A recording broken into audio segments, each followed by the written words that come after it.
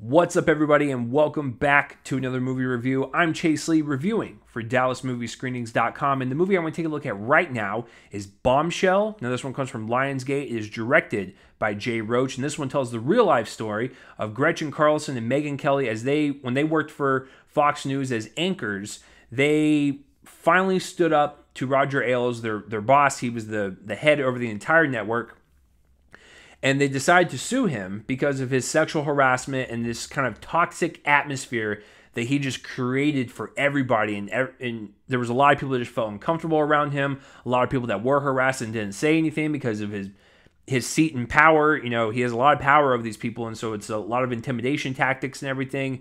So they finally stood up. They called him out. Gretchen carlson had evidence. And then rupert murdoch the head of fox was just like, no, this is, she caught you. Okay, I can't help you. Like, you need to go. So he fires Roger, and then, of course, Roger um, passes away shortly after. Um, it was actually pretty soon because I remember this whole thing unfolding. I think this was like three or four years ago. And as soon as he was let go from Fox, it seemed like instantaneously, like two or three months later, he was gone.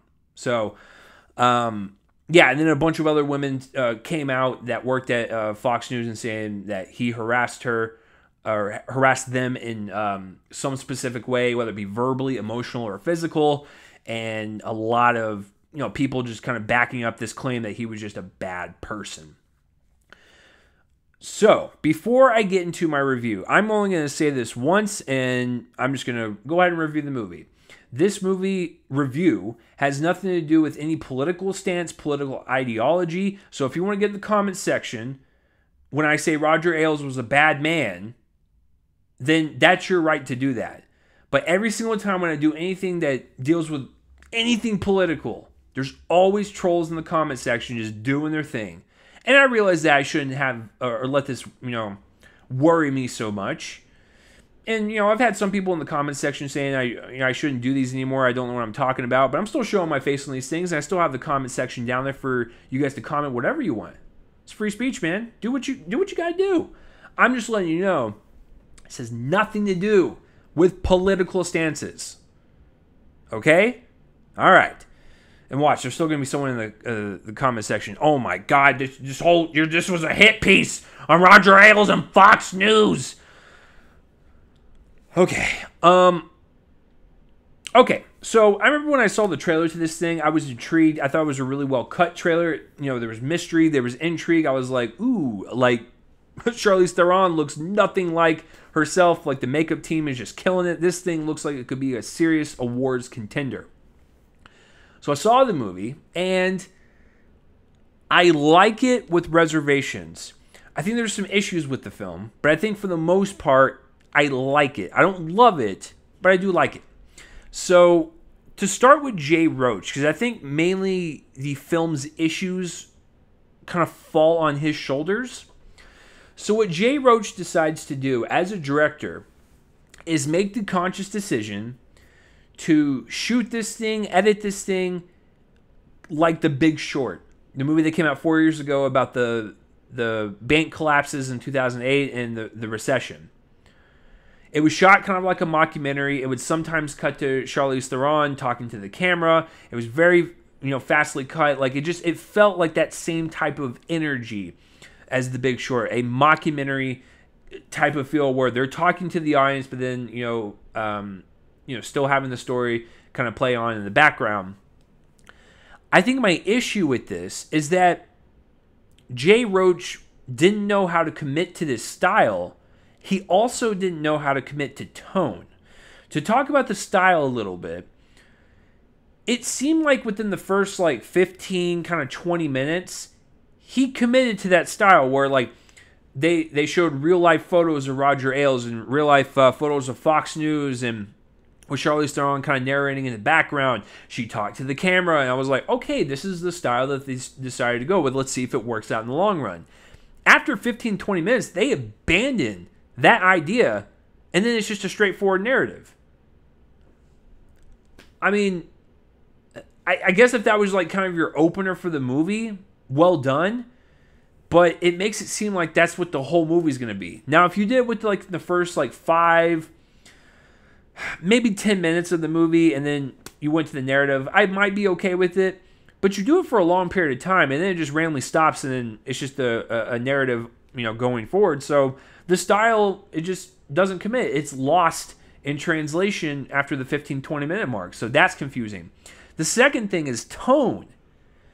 Listen, The Big Short, uh, since this movie wants to be so much just like it, uh, so much just like it. it guys, it's been a long night. Um, the Big Short had comedy. It had your drama. It was a suspense film. It was just it was such a sharp movie. It knew what it wanted to be, and Adam McKay did that. It was it was a, a thing from start to finish that set an idea out there and saw it through. With this one, with Bombshell, it's so weird because there's a lot of great dramatic scenes. There's a lot of great well written scenes. The dialogue is just spicy and it's just hitting back and forth between characters, and you get invested. Then there's certain moments where it plays out like a comedy, and there's comedic lines that are being delivered in sometimes serious situations. I mean, we're dealing with sexual harassment here in the workplace. I'm not saying you have to have like this drab movie the entire time, but why are you even attempting the comedy? It's like there's several moments where like Charlize Theron almost says something to Nicole Kidman or Margot Robbie, and it's just I don't know, just didn't feel right. Didn't feel like it connected really well with the actual narrative. Um, you know, the delivery of the lines were fine, but it's just the the content. It just the, and the substance of the line just didn't really make sense with me. So, like I said, I'm not saying you need to make it drab the entire time, make it super depressing, but I don't know. Just the comedy didn't work for this at all. Cut it out. Um, commit to that style and make it a straight drama or, or whatever. I just I don't know. It was just really conf- confusing with the the kind of tone shifting here, and it was just extreme unbalance going on. I thought it was cohesive in the sense of like from A to B to all the way to Z. I, I followed the story and the characters and knew what was going on. It's just there was just a lot of things kind of underneath it that was supporting the narrative that just you know didn't really support it too well. There's some cracks in there. So um, that would be honestly that's my only issues with the movie is uh, tone shifting and uh, that unbalance, and then the actual commitment to a style that Jay Roach wanted to do. I, I hate to say this, but it is like a a step sibling to Big Short and Vice. It really is. Now, with all the negativity out of the way, I do think for the most part, Jay Roach hits home what he's trying to hit home, which is this is something that happens in workplaces all the time with sexual harassment or just abuse of power from bosses or whatever. It doesn't matter if it's Fox News, it could happen anywhere. They decided to go with this story because it was based on real life stuff. This is not something they just made up. This was worldwide. I mean, this the headlines for this thing went across everywhere. This was a real thing. So it's not just Fox News. There's it, this happens everywhere. So getting to the the core of the problem with sexual harassment and abuse and just how it affects people, you know, mentally and emotionally and just how draining it can be on a person that's being abused because they just feel like they they can't do anything. Like they just they feel emotionally drained to where they can't call for help or they just feel defeated and you know maybe even intimidated. It's just all those elements of the movie I thought worked pretty well. And it there was a lot of scenes that were really effective and they drove the point home. Some scenes that made you feel uncomfortable and just feel slimy and gross as you're watching this thing. But you know, it's uh, it's just one of those things to where they wanted to highlight some of the some of the kind of you know testimony and stories that people have, have said about Roger Ailes, and just when you see it in person, you see it kind of like on screen like that. It's just it's really really disturbing. So, it, it, you know, it's one of the, it's one of these films that's a cautionary tale. It's like if you're doing this BS in, in the workplace and you're you're a boss and you're abusing your power and harassing workers and stuff. I hope you watch this and I hope you realize that. I hope you get caught. I hope you get arrested, thrown in jail. It's just it's it's it's gross. and it's just it's demeaning on people, and I, I mean I don't know what else to say. I think everyone can agree on here that sexual harassment and abuse is pretty terrible. Um, and so those moments really, really hit. And speaking of really hitting, let's talk. Uh, let's talk about the acting. Just like with like Knives Out and like Avengers Endgame, I think whoever was the casting director for this movie needs to get a raise. Needs to get a raise. Um, this is a really stacked movie with a bunch of people. So let's start with the top and we'll kind of work our way through some of the supporting people. But I also want to keep some of the surprises hidden because there's so much. Charlize Theron as Megyn Kelly is astonishing in this movie. Not only is the makeup bleeding into her face, you know, metaphorically, um, it bleeds into her face to where you can't even tell that is Charlize under all that. The the makeup and the the you know hair and just everything about the cosmetic side of this film is is mind blowing. I don't know how they did all that stuff, but it's not just about the makeup. It's about the performance. Charlize is she's great in almost everything that she's in, but there was something about this one where she got the the cadence and she got the voice of Megyn Kelly right. And Megyn Kelly, it to some people it might seem like a bad person, or some people might seem like a good person, depending on how you view her. But I think Charlize brings a humanity to her. So even if you hated Megyn Kelly, I think you can go into this movie and be like, okay, like she's adding a lot of soul to this person. And she's really commanding. I love the fact that she's she's like a boss uh, on that like newsroom floor in Fox, and like, she just walks around, owns the place. Love it. Um, Nicole Kidman is also really great. I know a lot of people are saying that uh, Charlize Theron and uh, Margot Robbie are stealing the show, but rightfully so. I, I get that.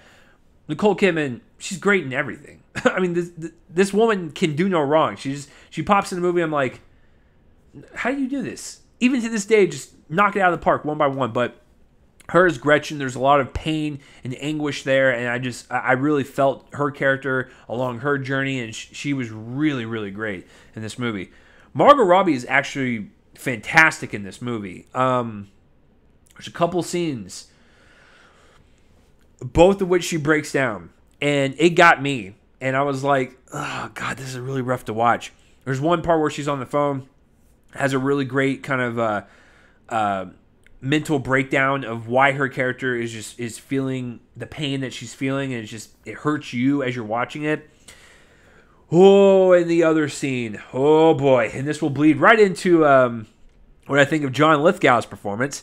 Uh, she's in a she's in the office of Roger Ailes, and it's just it's really uncomfortable, and it, it, you could hear a pin drop in the theater, especially when I watched it. Like everyone was just kind of stunned because we like we know what we're watching is bad, and this is like we want to help this person, but we can't. It's just it's oh, it's so slimy and gross. But yeah, she sells that scene flawlessly. John freaking Lithgow.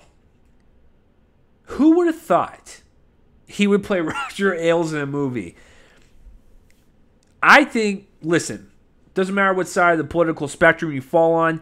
I think if you look at this kind of stacked evidence against Roger Ailes and you have all these people coming out with similar stories and stuff, it's kind of hard to refute it at that point. Yeah, bad man. And I know he's not alive to to defend himself, but he's a bad man. Just the way it goes. And John Lithgow, I think, captured that monster that was living inside Roger Ailes. It is a performance that is un just uneasy. Everything that he does, like you just you feel like shaky in your seat because you're like I don't. Everything he does, like talk, move around, it's just it's it's just not appropriate behavior. And so, um, I think with his performance being as terrifying as it is and the makeup that's kind of caked onto him, I think he does a fantastic job kind of portraying this, um, you know, a real life person that most likely act this way. Now, I know not all of us were in the room of Roger Ailes and what he did, but I think the testimony of these women and just more and more keep coming out. It's like, like I said, kind of hard not to believe at that point. But yeah, John Lithgow was amazing. Uh, Kate McKinnon's in this. She's just great. I mean, it, you know, I, I thought uh, she got a bad rap for Ghostbusters. I thought she was just fine. Uh, probably the better part out of the four. Maybe a little caricature, caricature kind of riding that thin line, but she shows that she has, you know, chops outside of SNL. This one is a great role for her. A great role to kind of sink her teeth into. It's a supporting role. That's all she needs, and it, it helps her quite a bit. Um, a few people from um, Netflix shows that I watch pop up in this. Uh, maybe some network shows like I said, I'm gonna go ahead and stop right there. This movie is stacked, and like I said, give the casting director a raise. It is totally worth it. Um, I think even uh, in to kind of bleed off uh, into the the kind of editing and the kind of cinematic style, even though it's kind of stylistically unbalanced and tonally unbalanced, I do think it is a well shot movie. Um, especially when you get inside of the Fox News network. I know they had to probably build that from scratch. It looks like a legit news space, and it just um, you really feel like you're you're on stage with these people. You're on camera with them. You're feeling the the hustle and bustle of the work environment. You can feel everyone's energy in that room. It's just it's a really it kind of makes you feel claustrophobic a little bit. Um, but I I think that cinematic styling. Uh, kind of works with it as well as the editing. It's a very uh, tightly edited movie. I think it's like an hour and 47 minutes. It, you know, flies by. Uh, I was invested the whole time just because I was just kind of in awe by everyone's performances. But um, I think if uh, this is I know the subject matter is a little a little rough, but if you can get kind of past that and you want to um, watch this movie, uh, I I think you can find enjoyment of it. To be honest with you, even if you are right or left uh, leaning on the political spectrum, I honestly don't know who's who, who's going to enjoy this movie. Because, like I said, it's a very rough movie to watch, and it's very you know it feels raw and real in terms of like how workplaces are in some places. I like I said, I honestly don't know how people are going to react to this movie, uh, politically or subject matter wise. I just I, I honestly don't know. So please let me know down below what you thought of this movie. If you loved it or if you hated it. If you want to call me a, a libtard or whatever to get off your chest, totally fine. But Roger Ailes was a bad person. Um. Yeah, so uh, I, am gonna give this movie a B minus. Um, I was kind of riding on. I was riding on like a C C plus for the entirety of the movie. I was like, this seems like a pretty fine movie. There's some spikes here and there of like greatness, but the performances and the makeup and uh, some of the scenes are so well done. I had to go up from like a CC plus to a B minus, and I'm gonna give it that minus and not the actual B or B plus because of some of the directing choices. So that's my review of Bombshell. I know this was long winded. I apologize, but there was a lot to discuss uh, about this film. Mm, excuse me. So if you do check it out, let me know. Uh, if not, uh, that is also okay. But uh, that will do it for this review, guys. Please like and subscribe to my YouTube channel so you can get more reviews just like this. This is it for this review, guys. I'm Chase Lee, and tune in next time for whatever I review next. I will see you guys later.